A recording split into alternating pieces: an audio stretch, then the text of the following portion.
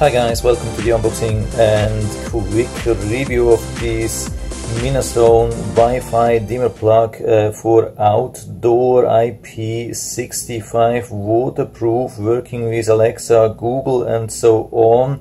It has a maximum power of 400 watts and the reason why I bought this is because it has the lowest price currently on Amazon especially given when you take the 15% uh, coupon which is available at the moment. It has pretty good reviews. And what was also important i mean a lot of people have been already buying and commenting. I think this is something which a lot of people are already using. It's not just something which is new on the market. So looks like it's definitely working but I'm going to check everything. And actually the biggest reason why I bought this thing is that they are saying that it's working with the Smart Life app and I'm already using the Smart Life app for a lot of different things. I'm using this for many many smart plugs, also for a robot cleaner, for many many things. I have almost everything which is smart in my home there. So I didn't want to install uh, other apps.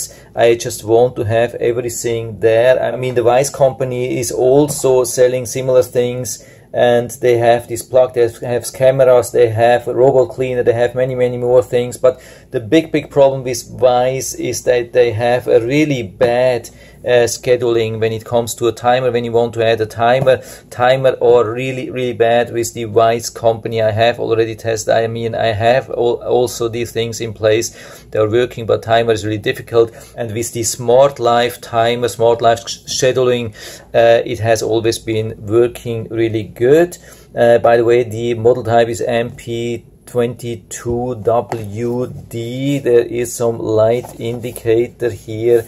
Waterproof dimmable. Yeah that's really important. That's what we want. Also that it's not too large. We have overload warning. Of course it's a it's a single outlet. It's not a duplicate or triple outlet just a single one but usually I'm just using single ones. If you need uh, like a power strip you can also add a power strip uh, to that if you need more devices of course course you have to make sure that they are also waterproof. Here's the device really small one. This is what I like. I didn't want to have a large thing.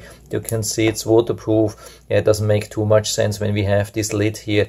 So if you have single ones if you don't need it you can remove the whole thing. We don't need this flap here but uh, I'm not complaining about that. We have this mount and uh, more information if you need that if you can read that it's too small for me. So next step is now to connect to the app. I'm going to show you that how this works i mean by the way it comes with a screw for mounting and we get this information here.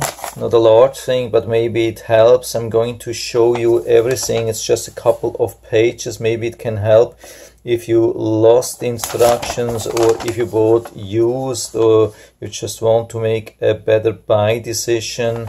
So here are the last two pages. If you are in troubling with uh, connecting or so usually what's important is that we have to long press and then it goes into connecting mode then we go into the app. I mean, of course, you have to set up the ad and add your account, but then we tap on the plus and select electrical socket and add the password and everything from there is usually self-explaining if it works. So this is exactly what I'm going to do now. Let's see if we get a light. Yeah, something which I didn't see before is that it also comes with a Bluetooth quick fit mode. Yeah, I think I'm going to test that. I've never uh, tested something like that. I haven't found much in the description or in the instructions, so we click on the plus. Let's see if it finds something. And yeah, that's actually crazy. As long as we have the Bluetooth turned on, it automatically finds this thing. Go to add. That's amazing. This would be so much of an improvement and because I have already uh, connected previous devices to my Wi-Fi, I guess my Wi-Fi and the password is already there. If you uh, don't have it already, just select the 2.4 gigahertz Wi-Fi which you want to use to connect this device and also make sure that you are also connected to the same 2.4 gigahertz Wi-Fi with your phone and then enter the password to the route. That's not password from here, it's password from the router and click on next. So let's see what happens now.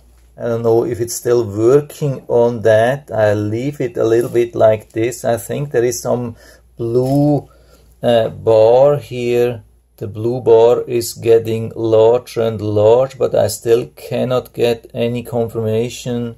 Maybe I have to click on that. No, there's nothing to click. We just have to wait. I mean, the blue blinking uh, went away. Now we have green and we have green and we can click on next. Wow, that's amazing. Yeah, that was actually the easiest way how to connect such a smart device. This is fantastic. Yeah, it's amazing. So let's click on done. We have this thing here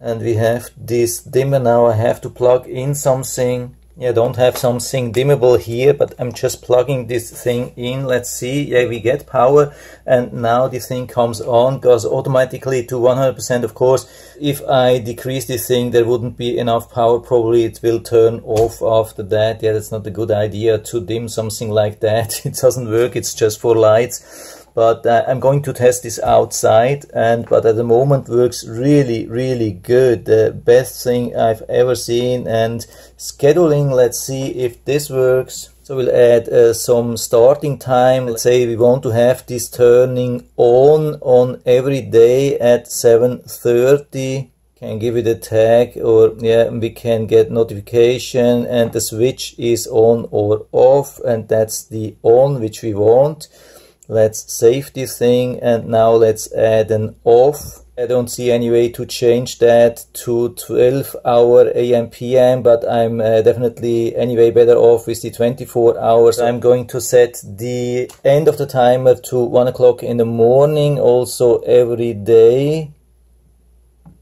And then we want to have the switch off at this time. We also save it and we have the on and so I think I messed it up with the time. I want to have 7.30 actually. Now I have, yeah, 7.30 on and uh, 1 o'clock in, the, in the morning, a little bit after midnight uh, off. Okay, that's easy enough.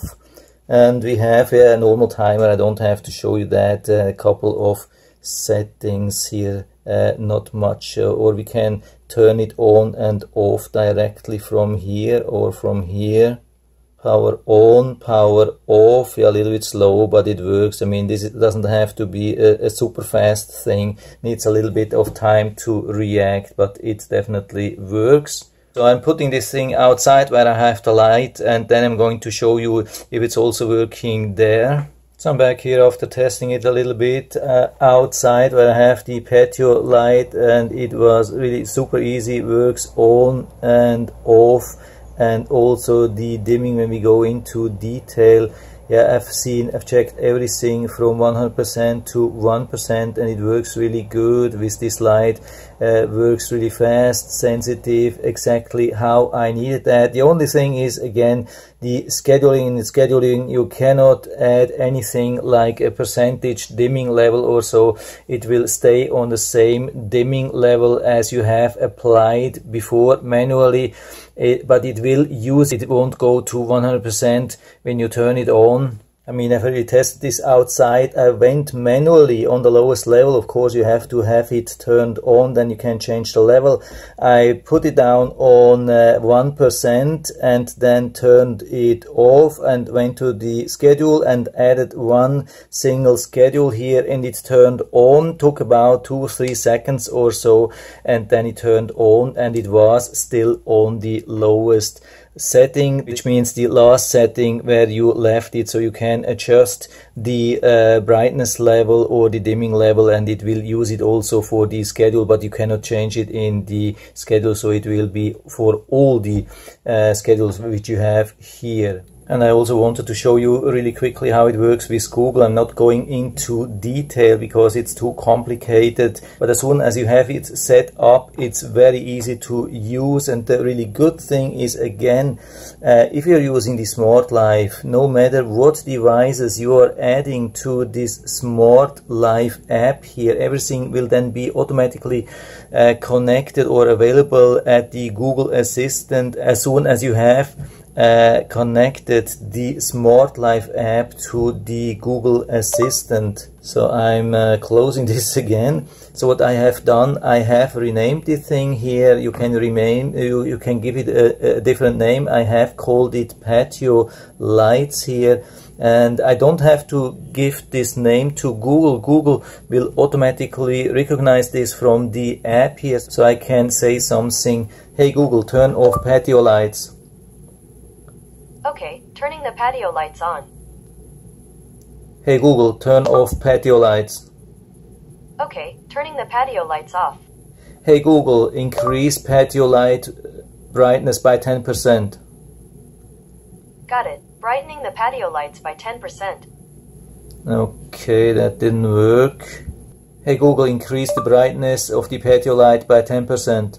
Got it. Brightening the patio lights by 10%.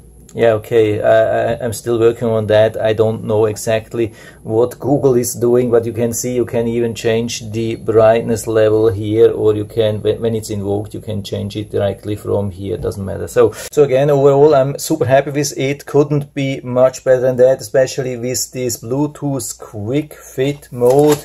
Even much better than the easy mode. I mean, easy mode, I've done this couple of times before. Usually works really good, but since we have this uh, Bluetooth mode that's much better. That's the best thing which I've ever seen.